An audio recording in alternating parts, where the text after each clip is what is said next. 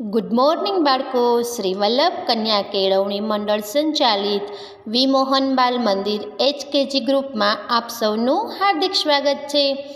બાળકો, આપણે કે સુધી શીખી ગયા છીએ. બરાબર? છેલ્લે આપણે કે શીખ્યા. બરાબર? તો એબીસીડીમાં કે પછી એલ આવે.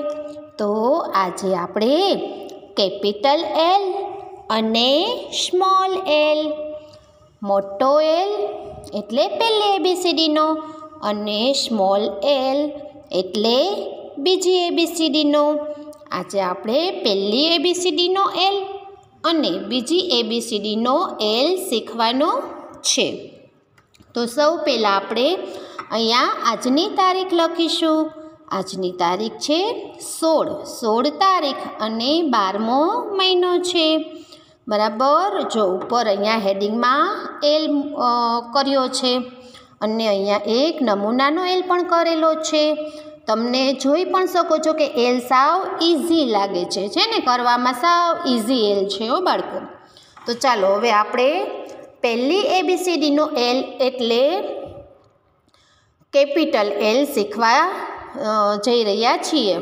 બરાબર? તો હવે સૌ પહેલાં આપણે રેડ લાઇનથી પહેલી બ્લુ લાઇન અને બીજી બ્લુ લાઇન સુધી આ રીતે સ્ટેન્ડિંગ લાઇન બનાવીશું. બરાબર? અને બ્લુ લાઇનથી આ રીતે અહીંયાથી સેજ નાની એવી સ્લીપિંગ લાઇન કરીશું. એટલે થઈ ગયો આપણો એલ છે ને સાવીસી બાળકો? હમ? ચાલો ફરીથી શીખીએ.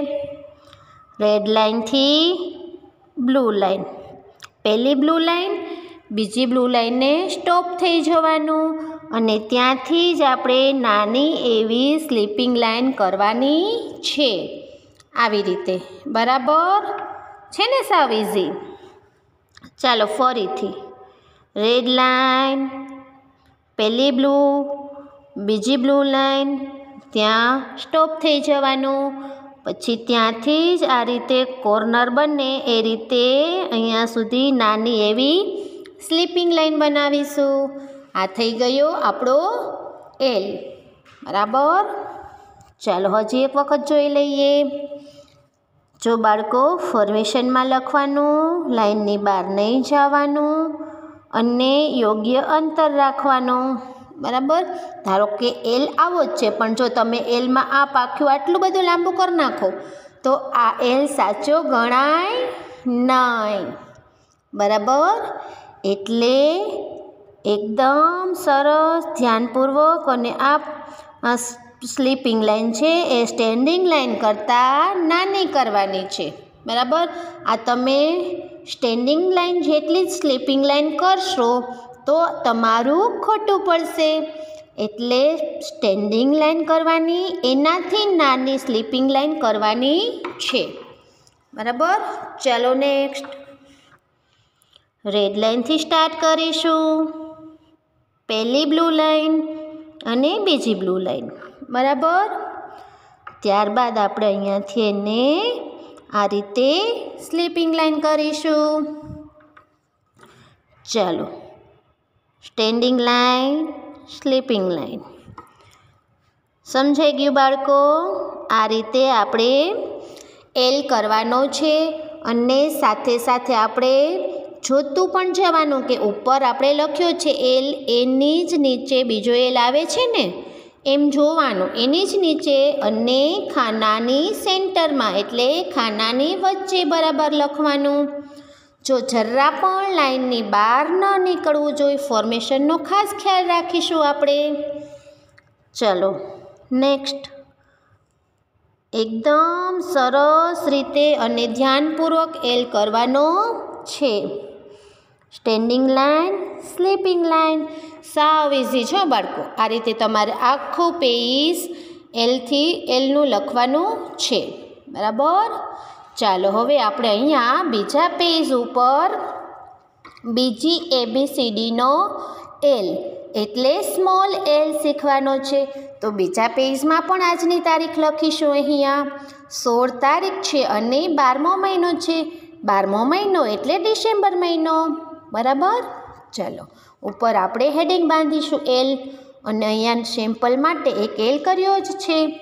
તો એલ તો સાવ ઇઝી છો બાળકો. જો તમને દેખાય જ છે. ખાલી સ્ટેન્ડિંગ લાઇન કરવાની છે. શું કરવાનું છે? સ્ટેન્ડિંગ લાઈન આ રીતે. રેડ લાઇનથી બે બ્લુ લાઇન સુધી. સ્ટેન્ડિંગ લાઇન આ થઈ ગયો આપણો એલ બીજી એબીસીડીનો બરાબર? એકદમ સેન્ટરમાં આપણે પેન્સિલ રાખીશું. પહેલી બ્લુ લાઇન અને બીજી બ્લુ લાઇનને આપણી પેન્સિલ સ્ટોપ થઈ જવી જોઈએ. એનાથી આગળ જવી જોઈએ નહીં. બરાબર? ચાલો હજી એક વખત જોઈ લઈએ. આ રીતે એકદમ રેડ લાઇન છે. ત્યાં જ આપણે પેન્સિલ રાખીશું. ધીમે ધીમે પહેલી બ્લુ લાઇન અને બીજી બ્લુ લાઇન પૂરી થાય. ત્યાં આપણી પેન્સિલ સ્ટોપ થઈ જવી જોઈએ. એનાથી જરા પણ આટલું બહાર નીકળવું જોઈએ નહીં. આટલું પણ બહાર નીકળે તો આ આપણું ફોર્મેશન ખોટું ગણાય બાળકો. એટલા માટે ફોર્મેશનનો ખાસ ખ્યાલ રાખીશું.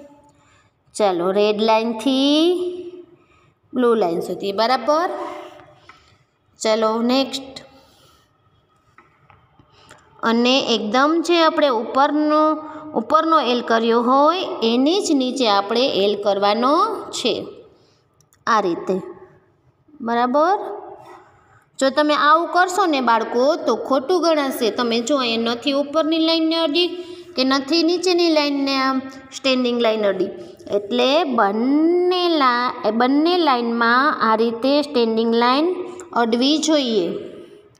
રેડ લાઈનથી સ્ટાર્ટ પહેલી બ્લુ લાઇન અને બીજી બ્લુ લાઇન બરાબર? આ રીતે સાવ ઇઝી છે બાળકો. આપણે આ રીતે એલ કરવાનો છે. આ છે બીજી એબીસીડીનો એલ બરાબર? ચાલો, તો આવી જ રીતે આખું પેજ તમારે કરવાનું છે. તો આ તમારું આજનું હોમવર્ક છે. પહેલી એબીસીડીનો એલ અને બીજી એબીસીડીનો એલ સરસ ફોર્મેશનમાં સરખી રીતે લખી અને ફોટો સેન્ડ કરવાનો છે. ચાલો ગુડ બાય બાળકો.